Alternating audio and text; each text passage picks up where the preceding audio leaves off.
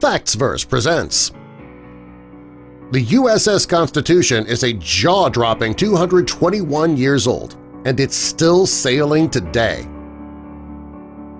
The USS Constitution, also known as Old Ironsides, is the oldest naval ship in the world to still be sailing the seas. The ship has three masts and a timber hull. The vessel was constructed in 1794 at the Boston, Massachusetts shipyard of a master carpenter, Edmund Hartt. It was designed by Joshua Humphreys, who wanted the hull timbers to be 21 inches thick.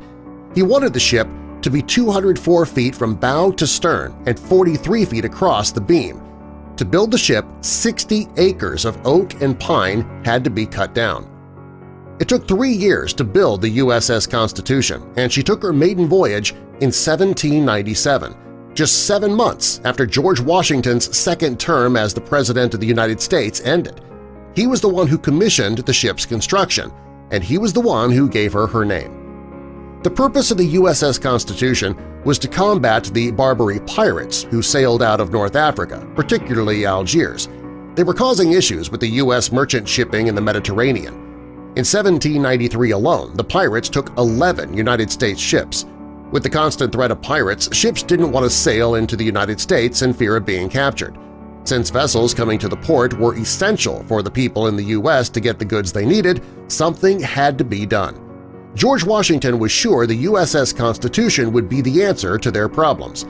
Before the ship's construction was complete, the U.S. entered into a peace treaty with Algiers, and that meant that there was no need for the USS Constitution and the construction was halted.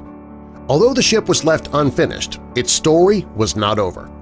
In 1812, the United States needed the USS Constitution again.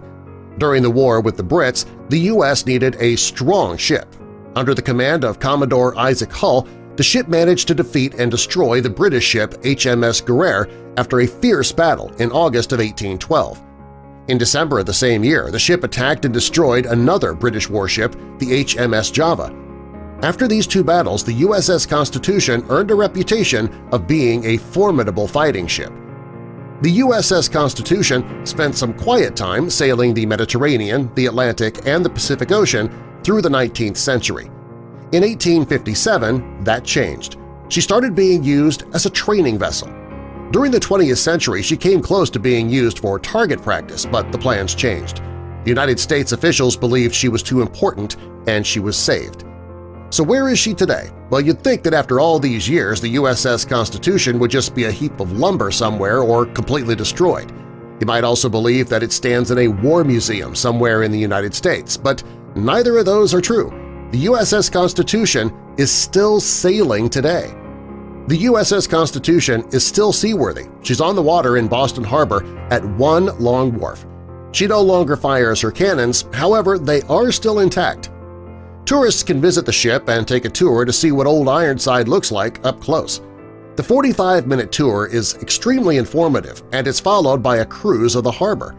On the cruise, you'll disembark for a tour of the ship and the adjacent Naval Museum. You'll also visit Bunker Hill Monument, the site of the Boston Tea Party, and the Old North Church.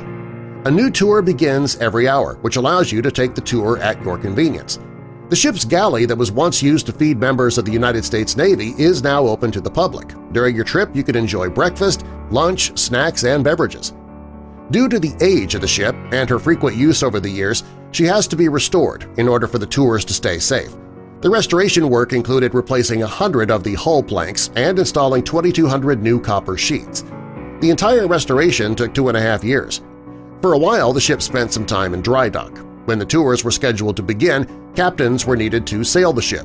Today, you can get authentic naval experience because the ship's crew members are all active-duty sailors. The ship's history is awe-inspiring, and it remains an essential part of the U.S. today.